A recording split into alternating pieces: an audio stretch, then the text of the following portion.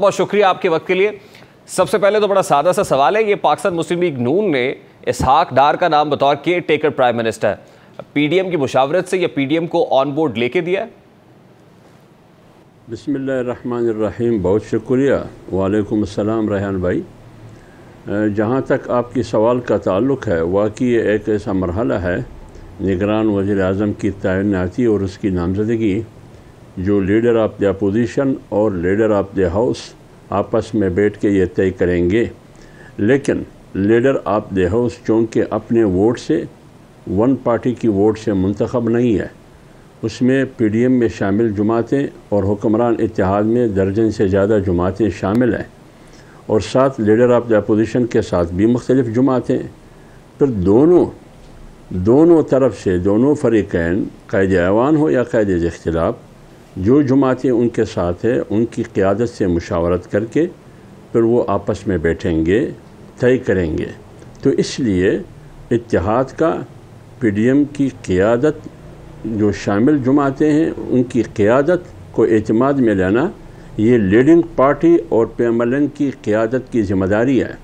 लिहाजा अगर इसहाक डार का नाम वज़ी अजम के लिए पी एम एल एम ने तजवीज़ किया है, तजवीज़ पर कोई पाबंदी नहीं है। दूसरी बात यह है ये तजवीज़ करदा पूरी पी डी एम में शामिल जमातों की क़्यादत और हुक्मरान इतिहाद में शामिल जमातों की क़्यादत की तजवीज़ नहीं है ये पी एम एल एन की तजवीज़ है। अगर फ़ैसला है पी एम एल एन का तो ये पी एम एल एन का फ़ैसला है। लेकिन पी एम एल एन ने इस मुशावरती इस, इसकी मुशावरत के लिए दिगर जमातों से एक मुजाकराती टीम उन्होंने तश्कील दी है। वो मुख्तलिफ़ जमातों की क़्यादत से जो शामिल है हकूमत में उनसे मिलेंगे। और फिर उसके बाद मुमकिन है कि मुशावरत के बाद तय हो जाए कि निगरान वज़ी अजम कौन हो और किस को होना चाहिए। ये बड़ी इंपॉर्टेंट बात आप कर रहे हैं लेकिन बतौर तर्जुमान पीडीएम आप समझते हैं कि निगरान वज़ीर आज़म के लिए इसहाक डार का नाम मौजू है? देखिए इस पर मैं ये नहीं कहूँगा कि यह मौजू है या नहीं है। ये उस बात, उस वक्त यह बात तय होगी, अगर किसी को इस हकदार के नाम पर तहफ़ात थे या इस हवाले से, जिस भी हवाले से कि केयर टेकर हकूमत, निगरान वज़ी अजम किस किस्म का होना चाहिए, वक्त का तकाजा क्या है, ये उसी फोरम पर बात होगी जब ये तमाम जमातें जो हुकूमत में शामिल है पी डी एम बशमूल पी डी एम की, इन तमाम जमातों की क़्यादत वज़ी अजम साहब की सदारत में बैठ के ये तय करेंगे जब ये नाम आएँगे हो सकता है इसहाक डार साहब का नाम भी आ जाए हो सकता है दिगर पार्टियों की तरफ़ से भी देखिए इसहाक डार साहब जो पाकिस्तान मुस्लिम लीग नून के रहनुमा है और पाकिस्तान मुस्लिम लीग नून के लिए उन्होंने पॉलिटिकली भी खासतौर पर हालिया दिनों के अंदर जो कोशिशें और काविशें की हैं वो किसी से ढकी छुपी नहीं है। तो इस तरह का पार्टीजान किस्म का फेस के टेकर प्राइम मिनिस्टर के लिए आपको लगता है कि अखलाकी तौर पर दुरुस्त होगा? नहीं मैं अभी तक फैसला हुआ ही नहीं है। आपका जो सवाल है वो मफरोज़े पर मुश्तमिल है। अब मफरोज़े का जवाब मैं कैसे मफरोज़े से दे नहीं केयर टेकर प्राइम मिनिस्टर के लिए इसहाक को नामजद किया ना हज़रत पाकिस्तान मुस्लिम लीग नून ने। तो उसूली तौर पर अखलाकी तौर पर ऐसा नाम नामजद करना चाहिए। देखिए मेरी बात सुनिए। देखिए अभी तक तो फैसला नहीं हुआ है। मुस्लिम लीग ने अगर फैसला किया है मुझे मालूम नहीं है। मैं मीडिया पे देख रहा हूँ सुन रहा हूँ कि वाकई आप लोगों ने यानी पी एम एल एन ने इस हकदार के हक में फ़ैसला दिया है। ये कंफर्म नहीं है। अभी तक हमें कन्वे नहीं किया गया है जहाँ तक मैं मेरी मालूम है। जब यकीनी हो जाए फिर उस वक्त फोरम पर बैठ के हम बात करेंगे कि क्या मुनासिब तो है यही क्या चाहिए सर कि लीडर ऑफ़ द हाउस और लीडर ऑफ़ द ऑपोजिशन के माबेन जो उसूल है वो ये तय करेंगे। लेकिन देखा यह जा रहा है कि ये मामला दुबई में तय हो रहा है। दुबई में बड़ों की मुलाकातें हो रही हैं। पीपल्स पार्टी हो पाकिस्तान मुस्लिम लीग नून हो टॉप टीयर वहाँ पर जाके ये सब तमाम तर फ्रेमवर्क तय कर रहा है। क्या ये भी जस्टिफाइड है? क्या वजह है कि पाकिस्तान में नहीं हो सकता? नहीं, बात यह है कि बात मुशावरत की है। अगर परत करें पी एम एल एन की क़्यादत दुबई में है या लंदन में है, वो पाकिस्तान नहीं आ सकता है आपको मालूम है, वो तमाम वजूहत और इसबाब अगर वहाँ मुशावरत होती है, लेकिन फ़ैसला तो नहीं हुआ है। मुशावरत पर तो कोई पाबंदी नहीं है डिस्कशन पर तो कोई पाबंदी नहीं है। जे ओ पी एम एल एन भी आपस में बैठ सकती है लेकिन मुजाकरा मुशावरत इसमें कोई कवाहत नहीं है बात है फैसले का। यही यही सूरत हाल यही सूरत हाल में देखिए यही सूरत हाल कैद ऐवान की है वजी अजम की है। वो ज़रूरी है लाजमी है कि पी एम एल एन तमाम जमातों की क़्यादत को ख्वा पी डी एम में शामिल हो या हुक्मरान इतिहाद में। तमाम जमातों की क़्यादत को अतमाद में लेना ये मुस्लिम लीग पर लाजम और ज़रूरी है। तो हाफिज अब्दुल्ला साहब प्री क्वालिफिकेशन क्राइटेरिया क्या है केयर टेकर प्राइम मिनिस्टर के लिए? आपने वो नाम तो बता दिए कि ये नहीं हो सकते। मोइन कुरैशी जैसा नहीं हो सकता। हाफिज शेख जैसा, ये पैराशूटर्स नहीं होंगे। तो फिर क्या प्री क्वालिफिकेशन क्राइटेरिया है? क्या खदो खाल होने चाहिए केयर टेकर प्राइम मिनिस्टर के लिए? देखिए मेरे ख्याल में एक क्राइटेरिया होना चाहिए। एक ऐसा आदमी हो जो पैराशूटर ना हो जैसे आपने कहा इम्पोर्टेड भी ना हो। आज की ज़बान की अतलाह में कोई मौसमी सियासी मौसमी परिंदा भी ना हो जो हर वक्त अवेलेबल हो। इसी इंतज़ार में हो कि मैं निगरान वज़ी अजम बनूँगा। कोई सियासी लोटा भी ना हो। निगरान वज़ी अजम वो हो जो आइन पर रख, यकीन रखता हो जो कानून पर यकीन रखता हो एक उसका एक जमहूरी बैकग्राउंड हो, एक सियासी बैकग्राउंड हो, जिसको पार्लियामेंट और जमहूरीत पर यकीन हो, एक ऐसा निगरान वज़ी अजम होना चाहिए, जिसकी तरजीह सिर्फ़ और सिर्फ़ कौम, रियासत और मुल्क हो।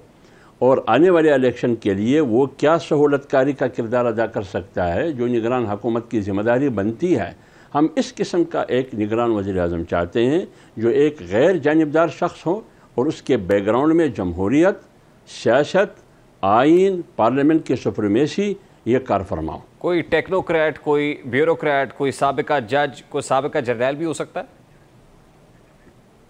नहीं मेरे ख्याल में इस इसकी ज़रूरत नहीं है।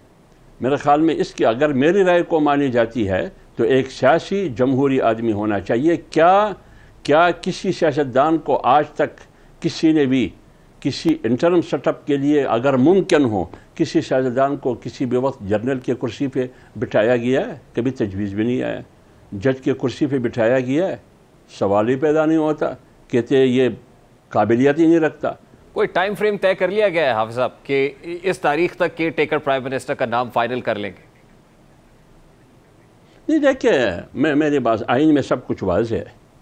और दूसरी बात यह है कि जब केयर टेकर हुकूमत आएगी निगरान हुकूमत और निगरान हुकूमत निगरानी करेगी, सहूलत देगी। असल ज़िम्मेदारी इलेक्शन का, या इलेक्शन कमीशन का होगा। वो ज़िम्मेदारी उनकी है।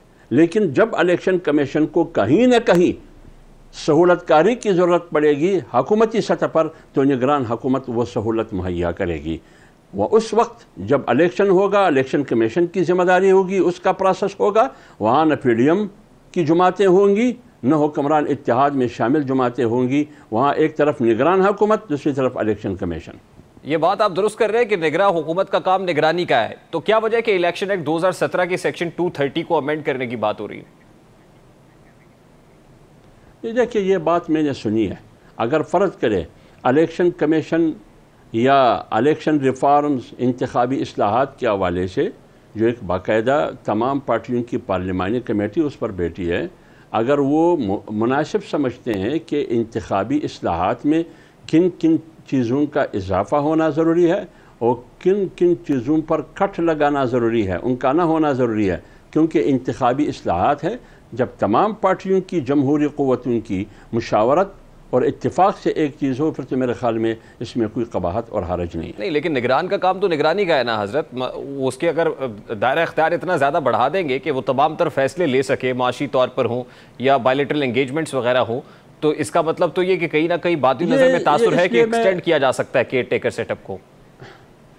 देखिए ये जो आप सवाल कर रहे हैं जिसका ताल्लुक मीशत से हो या दूसरा पहलू आपने बताया इलेक्शन कमीशन का मीशत के हवाले से तो ठीक है अगर फ़र्ज़ करे आपने आई एम एफ़ के साथ नौ महीने या दस महीने के बाद वो तोक जो इमरान ख़ान ने पूरी कौम और रियासत के गले में डाला वो बमुश्किल अभी हल हुआ। तो फिर किसे क्या खबर है कि निगरा हुकूमत पंजाब हुकूमत की तरह एक्सटेंड हो जाए और वो भी कुछ छः सात आठ महीने गुजार दे तो फिर क्या करेंगे? अगर ये हुआ अगर ये हुआ तो फिर क्या होगा? ये उसी वक्त देखेंगे अगर ये हुआ तो उसी वक्त फिर हम भी अपना फैसला देंगे कि क्या करना होगा। लास्टली लास्टली हज़रत चेयरमैन पीटीआई का जैसे आपने कहा कि एक माजी और ये जो कुछ हुआ केसेस भी चल रहे हैं, लेकिन अभी तक तो ना वो डिसक्वालीफाई हुए, ना गिरफ़्तार हुए, वो भी गेम प्लान का हिस्सा है। फिर सबक वजी अजम नवाज़ शरीफ की वतन वापसी से मुतल भी मामला they are still hanging in the air तो आपको लगता है कि ये बहुत जल्दी ये दोनों मामला तय पा जाएँगे और इलेक्शन आपके नज़दीक अक्टूबर, नवंबर में होते हुए देख रहे हैं आप? देखिए, ये फैसले अदालत ने करने हैं। चौदह महीनों से पेमलन का वज़ी अजम है और हुक्मरान इतिहाद पी डी एम में शामिल जमातें हकूमत कर रही है। अगर फैसला हकूमत करती तो आज नवाज़ शरीफ साहब पाकिस्तान में होता, लेकिन फ़ैसले अदालत करेगी और मौजूदा हकूमत अपनी ताकत को, अपनी वसाइल को, अपनी मशीनरी को इदारों के ख़िलाफ़, अदालत के ख़िलाफ़ अला अदालतों के ख़िलाफ़ इस्तेमाल नहीं करेगी। लिहाजा अदालत आज़ाद है, वो फैसला करे मियाँ नवाज़ शरीफ साहब के हवाले से भी और इमरान ख़ान के हवाले से भी। लेकिन एक चीज़ मैं बता दूँ कि मियाँ नवाज़ शरीफ साहब की डिसक्वालिफ़िकेशन बिल्कुल अजहर में नशम से कि उनके साथ ज़्यादती हुई, क्योंकि पानामा को बुनियाद बनाकर, अकामा को की बुनियाद पर उनको सज़ा दी गई। तो इसलिए मैं कहता हूँ कि जब पानामा में नवाज़ शरीफ साहब का नाम ही नहीं था एफ़ आई आर में नाम ही नहीं है जिसका नाम नहीं है, उसको आपने सज़ा दी। उसको आपने कातिल करार दे दिया। उसको आपने मुजरम करार दे दिया। और फिर अकामा के बुनियाद पर, और फिर आपने कहाँ से कानून लिया? ब्लैक लॉ डिक्शनरी है पता नहीं है पहली दफ़ा हम सुन रहे हैं। ये कहाँ का कहाँ का इंसाफ है ये? तो इसलिए मैं कहता हूँ कि उनकी डिसक्वालिफिकेशन बिल्कुल ज़्यादती है, लेकिन उनका वज़ी अजम बनना, उनका आना, खान की सज़ा या उनकी डिसक्वालिफिकेशन या सानहा नौ मई में, या तोशा खाना में, या ममनुआ फंडिंग में, या कादर यूनिवर्सिटी में, इस किस्म के मुख्तलिफ़ केसेज में अगर सज़ा होती है तो यह अदालत का काम बहुत बहुत शुक्रिया हाफिज़ हमदुल्ला साहब हमारे साथ मौजूद थे।